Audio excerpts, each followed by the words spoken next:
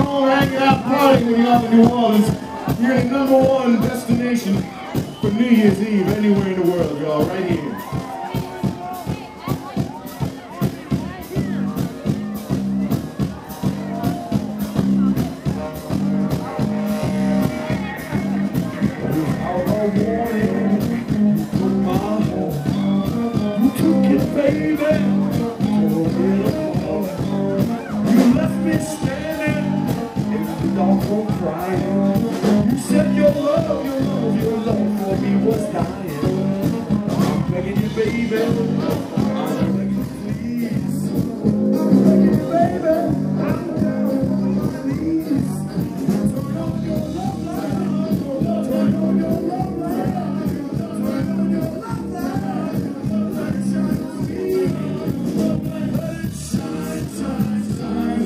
All